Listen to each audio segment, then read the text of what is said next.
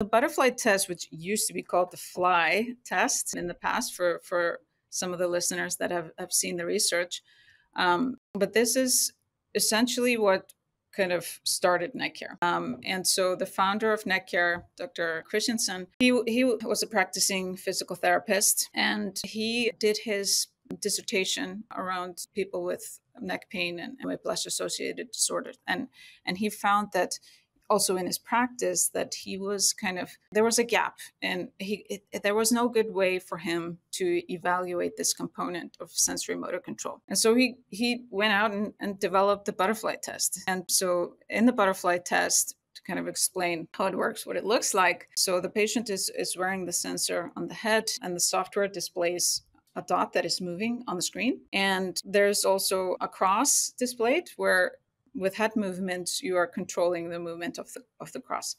And so the the objective in the in the test is for the patient to uh, track the dot as accurately as possible. And the dot is moving unpredictably. You can't see the path that it's following. And so it's moving unpredictably at various velocities. And um, your goal is to to stay on top of the dot follow the dot. And so it, it's a, it's a tracking task. And it's it's really kind of um, relying on movement sense and good performance on in, in movement sense and and combining with the visual input as well